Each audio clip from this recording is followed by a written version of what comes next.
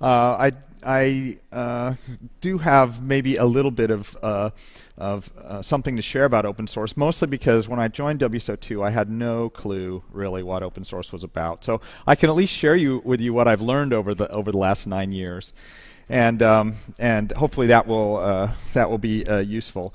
Um, I when I met Sanjiva, we were working uh, in the W3C standards organization, working on open standards around XML, XSLT, turned into SOAP, WSDL, a lot of the uh, web services standards. Uh, and I, I worked there until uh, uh, 2006 when I joined WSO2.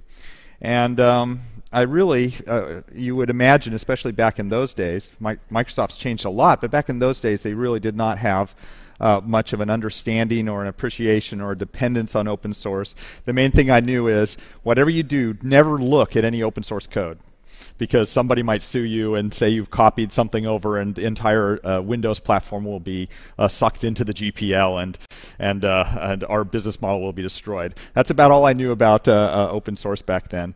Uh, so. I really had no clue also how you could possibly make money by giving away software for free at that time. And I just thought that it was a, a, a very small bit of the business model and a small uh, change in the way the industry worked, but not anything fundamental. And I was really wrong. And uh, I've learned a ton uh, being part of WSO2 and watching it evolve and watching the industry evolve, even watching Microsoft evolve uh, to use uh, a lot more open source and support more open source in their operations. And I think uh, what I'd like to, to share with you is uh, my belief that open source has had a very profound change on the industry as a whole, on how our customers uh, are, are building software, they're acquiring software, and even how WSO2 itself uh, has changed as a result of open source in pretty fundamental uh, ways. And you know, I'm sure all of you know the basis, basics of open source. I don't need to uh, to repeat those, but uh, this is what I thought open source was when I joined Microsoft, and all these I believe are true. Um, it's it's a very successful way to develop software. Um, when you have an open source community, you need to be able to govern the project uh, without ever meeting face to face. It can be massively distributed uh, among con contributors. It can be geographically distributed, and you can still get uh, good work done. So, a very effective uh, engineering model. Um, of course, there's an entire ecosystem of components you can build on to speed your evolution uh, in the form of other open source components. Uh, there is a natural, uh, when you have a large constituency and a lot of, of, uh, of different requirements on a technology, it naturally becomes uh, a very uh, extensible and, re and reusable and very flexible. Um, I think uh, th those are, are what I really understood open source to be when I when I first came to WSO2. I, I also found very quickly that it slashes the feedback cycle. You know, when you have a bunch of committers in an open source project, they're all equals essentially. There aren't the you know the the lead uh, uh, programmers and the designers, and then there's junior programmers who do the dirty work, and then there's the testing people. Everybody is responsible for the entire uh, uh, product, and uh, it mean, means a very fast, uh, a very flat organization, and a very fast feedback cycle. If something's not working, you learn it very quickly, and it's your responsibility to make sure the code you contribute is is solid and performant and and uh, fits the the need better. Of course when everything is open, there's no need there's an encouragement to release regularly because it's really frustrating to see a, code that you want there but not have a release that you can you can easily pick up and use. And with a proprietary license, it's easier to hide uh, behind years of of secrecy and then have a big a big uh, release every few years. So a faster release cycle, which is also very good uh, today. And then you know things like security. We it's kind of common knowledge that if you open something up, more people look at it. It's uh, it has greater potential to to be secure. So these are kind of ones I think we all know. This is really what I thought open source was about. I thought, great, we will develop our software as open source, but the rest of the business is going to be just the same as any other software business. And I don't think that it's that we've seen over the last 10 years that that could be possible. I mean, the entire industry has transformed as a result of open source. So if it's just a better way to build product, that would not have happened. So there's clearly a lot more going on with open source than just the engineering process itself. So, th- and this is really what I've learned over the last uh, 10 years. And you know, first of all, it's what is what has open source done to the uh, value that customers get from their software investments. And uh, one of the first things is it's easy to adopt. Every every time there's a little tiny barrier in in getting software, getting it working, getting it approved, making making something work, it's it's just a roadblock. And if we can eliminate all of those roadblocks, then then we're going to be more successful getting the software into the situations where it can do the most good. So again, permissionless. You don't need uh, the permission uh, you don't need my permission as an author of open source to use it. You have a license that gives you permission to use that for any pur- purpose you want, not just for trials or demos, but for uh, any purpose at all. And we use the uh, Apache license, which is you know very well recognized in the industry as as uh, free for you to use for whatever purpose that that you want. So uh, because you can get it immediately from the time you see the download link to the time you click on it and get the software there's no process involved. You don't have to go to your legal department and ask whether it's okay. You don't have to go to your finance department and open an invoice uh, or talk to a salesperson. You, you get it. You can very quickly uh, start to use the product and see if it works. And prototype see if it works fail fast if it doesn't work uh, iterate on it and evolve a, a, prototype or a project that you're working on. So very fast uh, uh, cycle.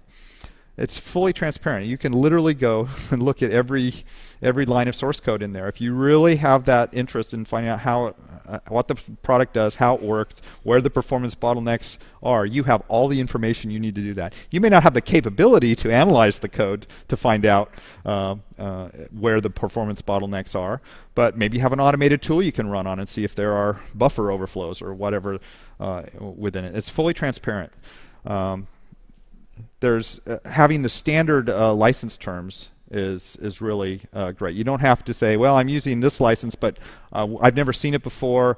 Our legal department hasn't seen it before." They have to look at it. OSI as a as a group has kind of categorized the the popular um, uh, open source licenses, so you have a lot of information about what the the characteristics of a license are. Makes it very easy for you to get a blanket approval to look at Apache license code or other open source license code in your organization. And another thing, once I started working on contracts, in the early days, I'd see contracts come in with customers and they wanted to do a code escrow, which is a very common thing for proprietary. You don't need a code escrow. I mean, the code is up there. Um, you can do your own escrow. You can scrape the, the source code and put it in your own, own uh, backup every day if you want. And you also are uh, we've seen it with many of the other companies and technologies. If a company goes down or community goes down that code lives on. It will appear in other places. New companies will come up to support it. In the case of MySQL for instance different different flavors and variants uh, go along. So there's stability beyond uh, a, a, company history. And that's very important when you're a small company. When we were first starting with WSO2 you know uh, the, the questions are well what if you go out of business? Am I am I sunk you know. I, have made investment in code i've put stuff on and now it's essentially dead code. Well no there's there's still that code is available you can maintain it there will be other customers who are using it other companies and other uh, contributors that will take that code and, and, evolve it if the code has value. And it doesn't disappear along with with a particular uh, company. So all of these make it are, are highly valuable in procuring uh, a code for for users and customers I think it's it's natural also to associate uh, open source with a cost-effective solution. Um, uh, this was muddied a little bit by, I think, the tendency uh, to call open source software free software. There's a debate in, in uh, among the proponents about whether to call it free software or open source software. free as in freedom rather than free as in no cost. Um, uh, but I think it is true, even even though uh, all WSO2 products are free, um, we do provide commercial support and services uh, around there. But um, because there is a free option, which is you use it without support and services, you have a baseline uh, uh, price that you are competing against with yourself. So when WSO2 provides a pricing, we have to do something that is enticing for the level of services we put on uh, that that's appropriate for the level of services we provide, and not just for the the intellectual property as represented in the code, which is already available for free. And if we charge too much, some other company will come along and offer low-priced uh, uh, services on that. So you, it does put pr uh, pressure on not only our code, but it's been putting immense pressure on the rest of the proprietary software industry to bring their prices down as well. And as customers, I think you all uh, benefit from that. And you know, one of the things that uh, that is important is you just consuming software, the cost of license is not the cost of, of the project. There's all kinds of cost of consumption. The knowledge that you need to get, uh, the the maintenance that you have on it. There's uh, many many costs to actually use the software productively. Um, with it puts it in your control whether you want to put time into your project or money into it. You can always, uh, we have a saying that you, if you have time, you probably don't have any money. And if you have money, you probably don't have any time. And so you, each of our users makes a, a, decision which they have.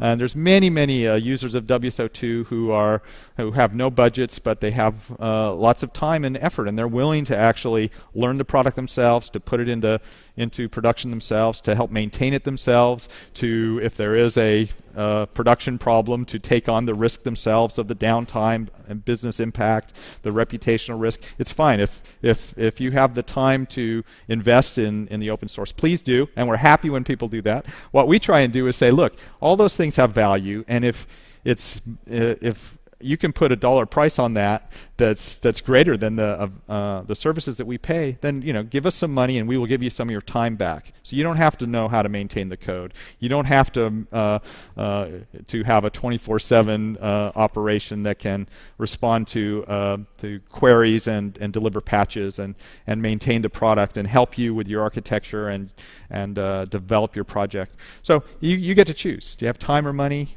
This model help gives it to the customer, and I think that's a a, a, a very important uh, part of of the whole relationship we have. I think uh, um, this took me a little longer to realize uh, when I joined uh, WSO2 that uh, open source really uh, equalizes the re relationship and normalizes the relationship between the, the producer of the software and the consumer of, of the processor. In a sense, when we develop something and put it in the open source, the license essentially makes it as much yours as ours. Um, if, if, if the code needs to evolve, then it's your responsibility to help uh, provide the feedback into the code base to help it evolve in that, hope maybe even contribute to it. You have a, an ownership stake into that code base as, as a member of the user community of that in a way that you don't really have with a, uh, with a proprietary uh, licensed uh, product. And so it, um, I think the impact on the sales process you know, when you're trying to acquire is is pretty immense. We, as Sanjiva mentioned, we have an inbound sales process. I don't think this is an accident. I think this is a direct outcome of of uh, the openness of, of the company and of the uh, technology. So um, typically a sales process thrives on information asymmetry. The salesperson knows more than you do and can trade off that knowledge in order to sell you something. Well, we've put every line of source code on, on uh, the web under an open source license. So, uh, you know, there's, there's a huge amount of data already out there uh, for you to use to make a decision. We can't you know use sales tricks to entice you to buy the product if it's not going to uh, if it's not going to perform well if it's not going to uh, meet your need. You can try it out. You can you stand up a full production system to make sure it works before you you engage in any commercial transaction which you can't do uh, with some of the proprietary things. So it really has has cut out uh, made the sales process very different. And in fact we you know we uh, our approach is we give you lots of information. We provide WSO2Con, we provide documentation, we provide blogs, we provide uh, white papers and webinars and uh, training and as much information as we can and let you decide when the product actually fits your needs. You have everything you need to decide whether it fits your need. We're happy to answer questions if that speeds your, your evaluation, but we don't have any secret sauce that, that we can use to, to uh, leverage in that sales process. So our sales process has completely changed as a result of, of being open about uh, the value of the product. and really encourage our marketing approach then to be about education.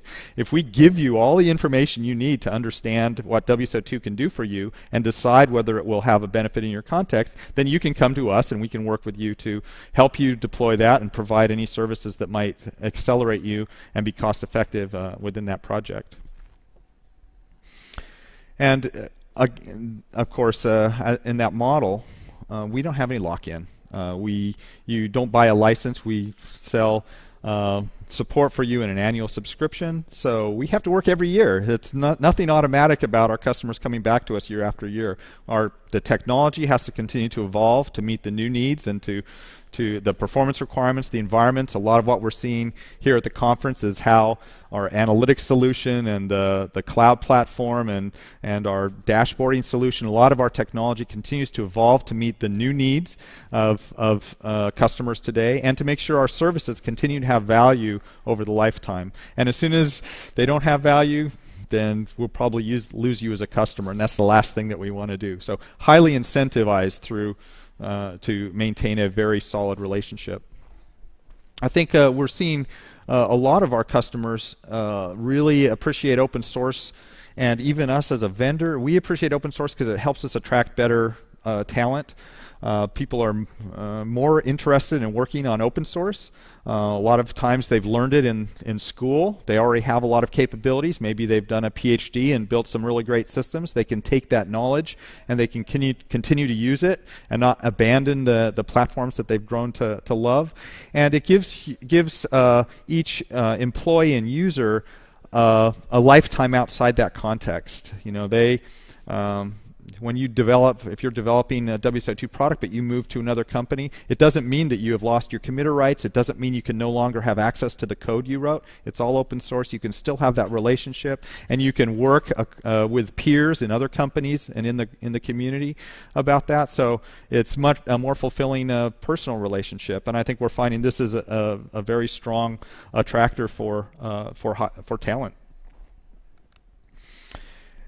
Oh, I uh, completely missed this when, when I joined WSO2. Um, you know, when I, I joined, I joined very naively. I thought there were some interesting technical problems uh, that we were going to solve at WSO2 that I could help with, but I didn't realize that, that the mission was actually viable, which is to go after uh, the middleware market and become the leading middleware market player. And the answer, the, my question is, well, okay, Oracle, IBM, some of these big guys, they have billions of dollars of marketing budget. How on earth are people even going to find you? How are they going to even notice that you're in the market? So even if you have a better product, that's not going to get you anywhere. But open source itself, I believe, is a brand that is as strong as as those big brands. You know, so when somebody is doing an evaluation um, maybe you know they've they understand they have a need for an ESB and they're say okay Oracle they're my normal vendor they have an ESB IBM I've used them before they have an ESB I better Google and see if there's an open source ESB and gee you know the name of our product WSO2 Enterprise Service Bus and it'll come up under open source. So it's kind of automatically SEO'd to help you find that. So just the brand value of of being open source regardless of any of the other values it has enabled us to actually play on a on a field that that is uh, a lot more level with established players than than I could have ever imagined when I joined. And and we see this with a lot of different uh, uh, uh vendors. Uh, I think uh, over over time when I joined, I thought of actually I thought of open source as the um, the open open office product. And of course I was using Microsoft Office and very very hard to switch. And I wonder why anybody would would uh, waste any time with Open Office when you could just buy a license for 100 bucks for uh, for Office. Well there are many parts of the world that that uh, you can't uh, uh, spend $100 that's a significant investment for a lot of parts of, uh, of the world. So okay so maybe they have to use the cheap clone. But who wants a cheap clone really? You may be forced to use a cheap clone. But what's happened, I think, because open source development accelerates faster, um, at some point, the open source uh, uh, in every category reaches a par with uh, the established, long uh, developed players, and then starts to exceed it because the speed of evolution is faster. And I think if you look at, you know, when we talk about big data, almost every time people have said big data, they said Hadoop. I mean, it's literally an open source uh, project has been, become synonymous with the, the leading edge of, of quality. And I think we're seeing that in, and, and we'll see it in many more areas of, of, uh, of software. Um, I think lastly, I, I, wanted to talk a little bit about what open source has meant for WSO2, and maybe you're seeing this in some of your organizations uh, uh, as well. I mean, the, the first thing that it did in our engineering, engineering prob, uh, uh, process is it really converged the technical problem and flattened it very much, which is it's, it's not a bunch of silos and layers of teams that are each responsible for one aspect of the problem. Is the product fit to the customer's needs? Is the is the product of high quality? Uh, are you supporting the product? All these become integrated. Every person is contributing to a project is responsible for making sure that it, it continues to meet the fit and has an equal say in, in whether it's meeting the, the problem of fit to purpose, whether it, it uh, has a whether it's quality. I mean, we don't. Uh, uh and uh, and supporting. So we actually do have our engineers uh, rotate through support, so that if there's a bug, they experience the pain and they understand what the customers are trying to do. We have them work directly with our customers, so they can really see what you guys are doing, bring that back in, and use it to help ad- adapt the fit. And it's a very flat model. It's very uh, virtuous uh, to to uh, essentially break down the silos, make a very flat engineering team that is responsible for all these things: quality, support, uh, services, and the R and D uh, project. Uh, it really breaks down any siloed thinking between uh, those departments. Um, everybody is responsible for the quality of the product, and when you're when you're in an open source uh, product, and I think we have taken that to heart and distribute it among other parts of our organizations, not just our engineering process. You know, we are all uh, enabled inside WSO2 to uh, to comment on the strategy. We have an internal strategy list. Everybody in the company can say, "I think this is a, a, a strategy needs adjustment." Um, or this uh, this process needs fixing, or the way we we handle uh, some of our uh, internal processes needs to be adjusted. So we've adopted that distributed governance and the openness and the collaboration throughout the entire company, which has made it a very uh, a fun uh, place to work, but also evolving the entire company culture and and uh, organizational structure and processes at the speed of of open source as well. I think because of all this, I have you know some of the statistics from the uh, 2015 Future of Open Source survey that Black Duck Software did. Um, and uh, I think we're seeing that more and more open source is, is starting to become the default for, for organizations. You know, uh, many, the vast majority of organizations are running open source, of course, uh, and more and more are are taking it uh, as as a preference or as the as a, uh, a requirement, uh, or and even starting to contribute back to the projects. So, you know, what is it that, that maybe you can you can do, or what do we see other people doing? And uh, first of all, is you know, what can you do in your organization to help uh, adopt uh, open source? You know, the first thing is well, don't preclude it, don't rule it out, um, but uh, if you are doing an evaluation on a technology, always look for an open source alternative, and it'll help you, um, hope, ideally, uh, find a better solution, but at least really uh, help your other alternatives measure up, see what they can do. A lot of our uh, companies we see are establishing an active preference for open source, and we're seeing that in a lot of governments as well. Is like if there's an open source solution, then that should be preferred at some level because of the social benefits, the long-term business benefits. So if it's technically even between a proprietary and open source, take the open source because of these additional non-technical benefits.